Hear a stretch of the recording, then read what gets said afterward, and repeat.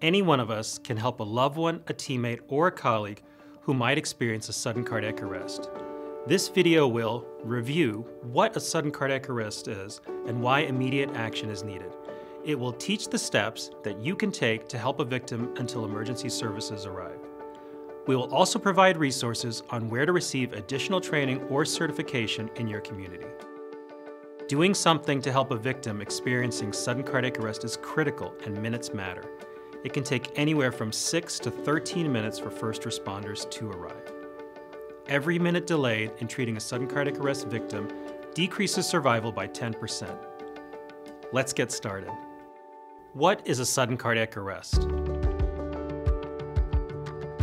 Sudden cardiac arrest is a life-threatening emergency that occurs when the heart suddenly stops beating.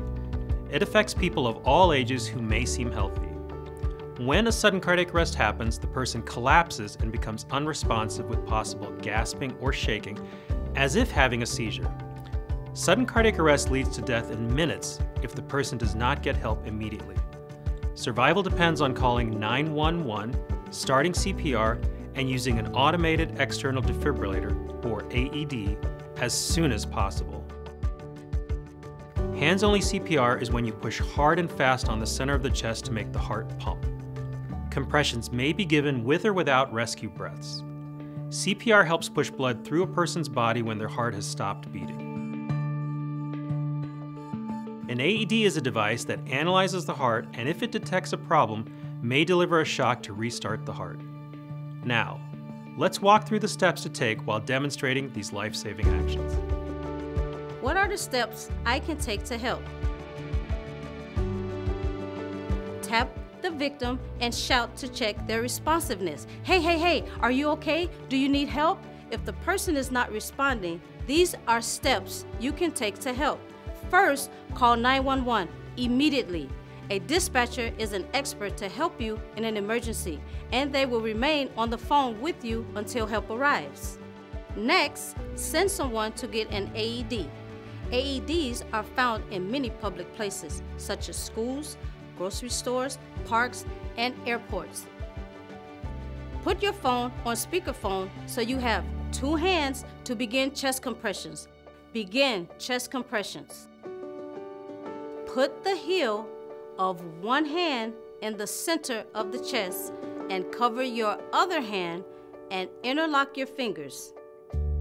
Straighten your arms and lock your elbows so that your body weight is over your hands. You will push hard and fast on the center of the chest. Compressions will be a depth of 2 inches and a rate of 100 to 120 beats per minute. Don't worry about pushing hard on the chest. A victim that is not responding needs your help and you will not hurt them.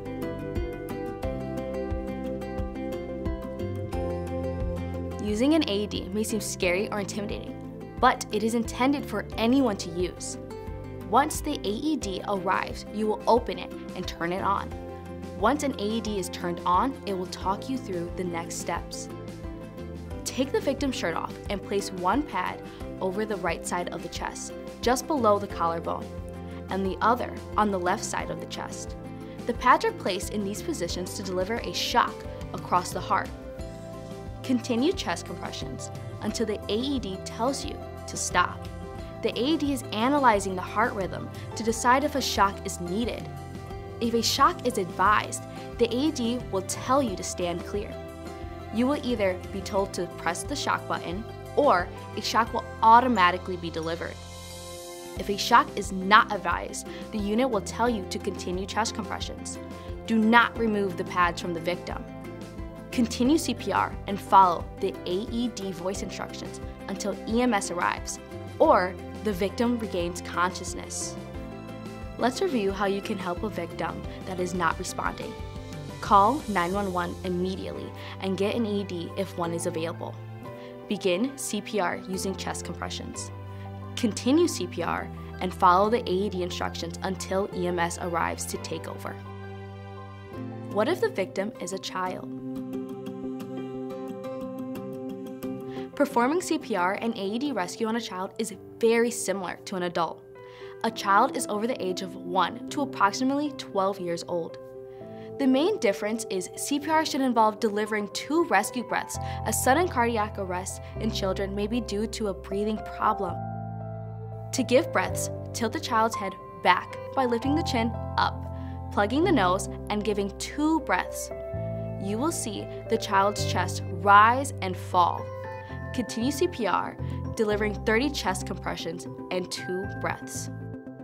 Once the AED arrives, you will turn it on and apply the smallest set of pads to the bare chest and listen to the prompts.